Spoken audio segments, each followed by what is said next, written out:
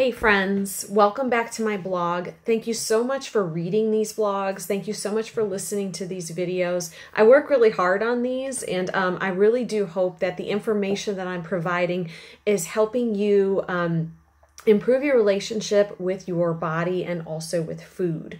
Um, so last week I was talking um, in, in, my last blog post, I was talking a little bit about um, damaged metabolisms and how the idea of a damaged metabolism is actually a myth. Um, and I'm going to really quickly recap that here. Um, you have to look at, and I know some of this sciencey stuff is boring, but if you understand human evolution and if you uh, understand a little bit of our biology, it will help you understand why it seems like you can no longer lose weight. So if you're watching this video and you um, you're in that place right now where you've been trying to lose weight and you just can't seem to lose weight anymore, or the weight seems to come back on faster than ever when you fall off of your diet, um, or you see it feels like you're hungry all the time, or you lose control around food, um, these are all warning signs that not that your metabolism is damaged, but that you have actually trained your body to put on weight quickly and store it uh, even and store it uh, faster or more efficiently. So, looking back, I'm going to recap last week's blog post just very quickly. If you study human evolution, or if you sort of just understand the background, so humans evolved over about the past six million years only within the past 100 years have we had access to food 24 7. Very easy to get food. So, the biggest threat to the survival of our species for 6 million years was actually starvation. So, our body um, has learned over 6 million years through evolution, through natural selection. Um, our bodies have become beautifully adapted for gaining fat and for holding on to fat. Our bodies do not want to let go of fat stores because from an evolutionary, from a biological standpoint, that was not something that was going to help us propagate the species. So I hope that with that little bit of knowledge and that understanding, you can begin to understand um, some of the biological processes that take place inside the body when we go on a self induced famine otherwise known as a diet. And this is true mostly, most especially for diets where you're trying to lose weight very quickly, um, which anymore it seems like all of the diets on the market, um, they're marketed, you know, lose 10 pounds in 10 days, or, you know, you go on this 21 day or 30 day plan and they promise all of this weight loss. And what tends to happen is people go on these diets and they do really well and they lose weight and then they fall off the diet or the diet ends. And what do you do? You go on a major bender and you eat everything in sight and you wind up putting that weight back on. The more times that you diet, the more times you lose weight and then regain it, um, you you're actually teaching your body to be more efficient. Your body becomes more efficient at both putting on weight and holding on to fat. Um, but again, that is because from an evolutionary standpoint, our bodies are trying to keep us alive in case there is a famine.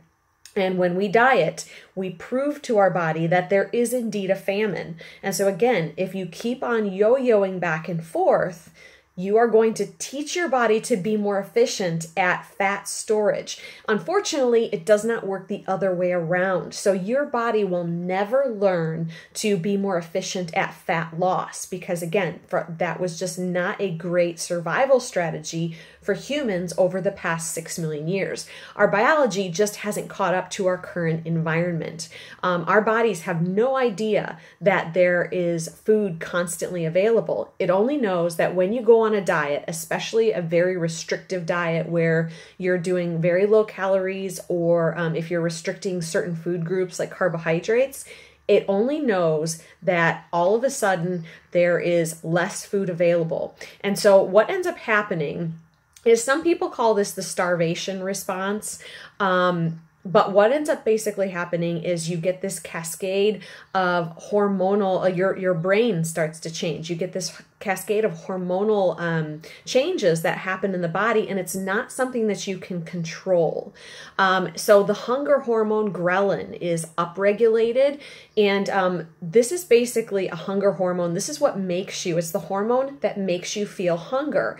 And with this hormone, when more with more of it circulating in your bloodstream, this is why people tend to, um, you know, feel hungry all the time on a diet. You start thinking about food constantly, and you occasionally, um, you know, or sometimes more often than than you'd like to, or more often than not, you lose control around food. I've personally experienced this myself. Um, I've been on lots of diets since I uh, since uh, college. I, when I started dieting, um, and my prevalence of binges um, has gone. If if I'm dieting, I'm also binging, um, and the two seem to go hand in hand. And I believe that I have trained my body to, as soon as I start restricting, it starts sending out those signals, you know, that are going to send me into um, that binge behavior. So, another hormone um, that when you start restricting food and your body starts sending out these warning signals, another hormone um, that um, that sort of changes is leptin. So, leptin is down regulated. Leptin is the satiety hormone. Um, it's the one that tells you to stop eating, that you've had enough food. So, if this particular hormone is down regulated, again, it works in concert with ghrelin. So, if ghrelin is up and leptin is down, you are going to have, you know, incredible hunger. You know, you're going to be very hungry. You're going to have cravings, and probably not for things like kale um, and so again, you know, you get these cascade of hormonal events that are going to create behaviors in you that are unsettling, but in reality, completely normal um, to have if you are initiating this starvation response. Um, so, again, you need to be really careful with dieting. If you are in that place right now where you're so desperate to lose weight that you're trying all of these different things, and what you're noticing is that, you know, you, um, uh, you feel like you're losing control around food sometimes, and you're constantly hungry and you're constantly tired these are all signs and signals from your body that the diet that you're on is probably too restrictive and that you are actually tripping these ancient biological mechanisms. And again, the more times you do this, the more times you go on a diet and you lose weight and then you regain it, this is why it is harder. This is why it seems harder and harder to lose weight over time. Um, because it's it's it's not it's not something you're imagining it's actually happening it gets harder and harder to lose weight the more times you've lost and gained and um, it gets easier and easier to put the fat back onto your body your body becomes very efficient fat storage machine if you teach it to be. So, my advice to you after listening to all of this, if you are about to embark on another one of these crazy diets where you're trying to lose weight very quickly, um, think twice about it. Think about how many times you've been on a diet before. Think about how many times you've lost weight and regained it. Um, and and again, if it seems like it's getting harder and harder, think really hard about what you what you're doing and what you want to accomplish. Most of us do not want to accomplish um, a body that is an expert at fat storage because our bodies are already that way. So anyway i hope that this was helpful um, in the next installment of this particular blog series, where I'm talking about metabolism, I am going to be talking about some solutions. So, if you feel like you are in that place where you've really, you know, again, we haven't damaged our metabolisms, we've simply trained our metabolisms to do exactly what they were designed to do when when there's a famine our bodies are designed to um, hold on to fat as, as much as it possibly can our bodies are designed to um, rev up those hunger hormones so that we seek food. Um, and our bodies are designed to um, help us put on fat as quickly as possible. And again this was survival.